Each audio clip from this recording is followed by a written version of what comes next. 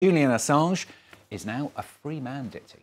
Yeah, that's right. After 14 years, Stuart, he's a free man. Well, sort of. Uh, free is, in any case, a word that you'll see uh, coming up a lot in the press today. This is how the US version of the Huffington Post covered it on the front of their webpage today. Assange guilty plea because the WikiLeaks founder did strike a guilty plea with US uh, authorities uh, uh, that essentially enabled him to leave the UK. Uh, he's now heading or already uh, headed to the Mariana Islands to face a federal U.S. court there where he'll have to plead guilty to an Espionage Act charge. This will essentially allow him to avoid jail in the U.S.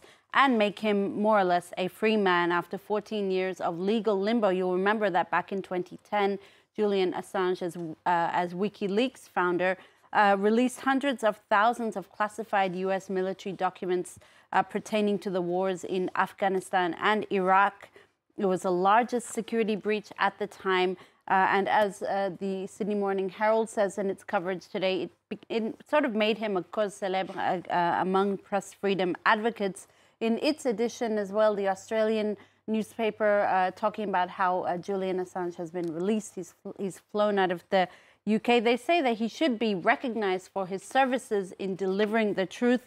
The paper noting that he managed to infuriate not just the US government, but elites from both the left and right.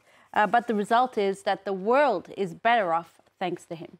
So the big question, of course, is what happens next? Something the conversation is looking at. That's right. That's uh, the conversation on an Australian academic website uh, looks at the implications of uh, this plea deal. Uh, and what's next for Julian Assange after years of being on the run? Uh, they noted that the plea deal could set a dangerous precedent. Assange is accepting guilt under the Espionage Act, that is a federal crime, meaning that someone who does nothing more than receive and publish information could potentially also be convicted in the future under the same law. So there is a, a somewhat of a dangerous precedent set there.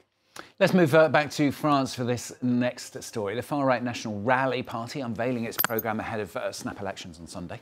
That's right. The Guardian is focusing on this. There's a lot of international coverage today. The Guardian looking uh, in its editorial pages at uh, those promises uh, revealed by Jordan Bardella, the leader of the far right National Rally Party, ranging from cutting energy taxes to abolishing the automatic citizenship of uh, French born people. Of course, immigration is uh, that, that that program is very heavy on anti-immigration measures. Libération, the left-wing paper, not surprisingly, uh, lambasting this program as 100% pure bait to uh, lure in French voters, as the paper says. The National Rallies program is, quote, obscure, unrealistic, and even illegal, the paper decries, and the program is spearheaded by the party which still counts, I quote, many racists, many anti Semitics, and conspiracy theory theorists among its ranks.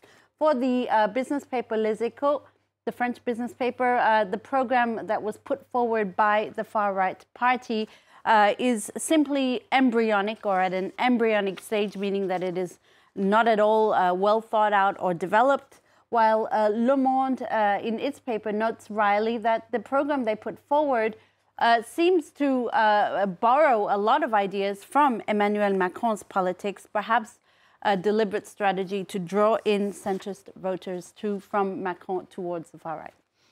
Now, this last story from GT, I have no idea what it's about and I'm intrigued. Uh, a museum in Australia has found a way to seek revenge on a court that uh, ruled that its ladies' lounge was discriminatory to men. Yeah, that's right. So uh, this needs a bit of an explainer, uh, Stuart. So uh, the Museum for Old and New Art on Mona is in Tasmania, and back in 2020, an exhibition space was created called the Ladies Lounge, a women's only area where women visitors could come, be pampered by male butlers, drink champagne, and uh, enjoy fine art amongst ladies only. The whole point was to evoke men's experiences of being uh, excluded, except that one man actually took the museum to court last year after being denied entry. A Tasmanian court then ruled in his favor, saying that the ladies' lounge is indeed discriminatory to men. Uh, and they were given 28 days to stop refusing men access.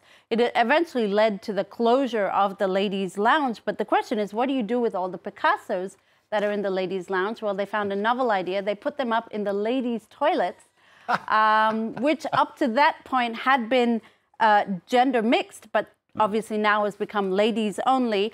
Uh, but I actually want to end on another male meltdown story of a different kind story. This is uh, the Washington Post, which uh, reports that a wax sculpture, a six foot tall wax sculpture of Abraham Lincoln, America's 16th president, was installed on the campus of an elementary school in Washington. It was meant to be a message about the Civil War era and its aftermath. In the end, it became victim to Washington's heat wave, melting under oh. scorching temperatures. As the Washington Post notes, by Monday morning, Abe's head was gone, his left leg separated from his torso, and his right foot a blob. I quote. Oh, that's really sad. All I've got now is images of that in my head and Picasso's falling off of cubicle walls because you can just imagine when the doors slam, they'd be on the floor, wouldn't that's they? That's right, that's no right. At all. Dipti with the papers off, France 24.